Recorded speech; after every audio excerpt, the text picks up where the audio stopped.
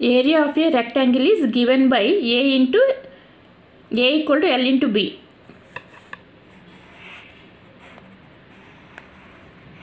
ఇది రెక్టాంగిల్ ఇది ఎల్ ఇది బి ఏరియా కావాలంటే area equal to area of rectangle equal to L into B మనకి ఇది ఈ ఏరియా అంటే ఇది. ఈ ఏరియా మనకి రావాలి అంటే ఎల్ ఇంటూ బి చేస్తే మనకి ఏరియా అనేది వస్తుంది. Area equal to what is the formula L into B ఓకేనా? మనకి ఎల్ ఎంత ఇచ్చేసాడు? నైన్ సెంటీమీటర్స్ ఇచ్చాడు.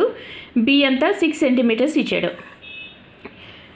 ఓకేనా? If L equal nine centimeters B equal six centimeters find its area ఈ ఏరియాని ఫైండ్ అవుట్ చేయమంటున్నాడు.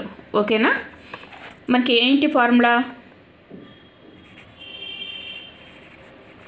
Area of rectangle L into B is the formula area of rectangle formula ఏంటి? ఎల్ ఇంటూ బి ఎల్ ఎంత ఇచ్చాడు? Nine centimetres ఇచ్చాడు. B six centimetres ఇచ్చాడు. Nine six fifty four centimeter అంటే centimeter centimetre square ఎంత వచ్చింది? మనకి ఏరియా ఎంత వచ్చింది? ఫిఫ్టీ ఫోర్ సెంటీమీటర్ స్క్వేర్ వచ్చింది. ఓకేనా? ఫార్ములా ఏంటి? Nine L into L into B is the formula for rectangle ఓకేనా? ఇప్పుడు చూడండి మనకి ఇదిలా ఉంది.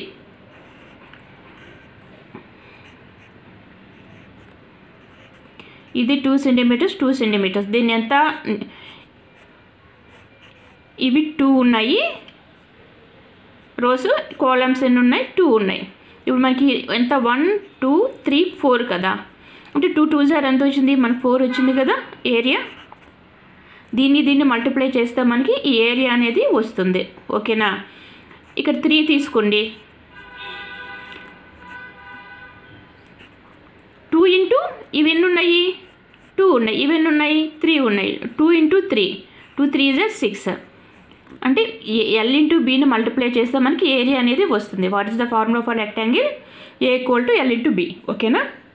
మనం చేస్తే ఎంత వచ్చింది? L nine B six.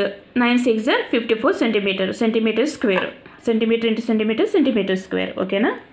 Fifty four centimeter square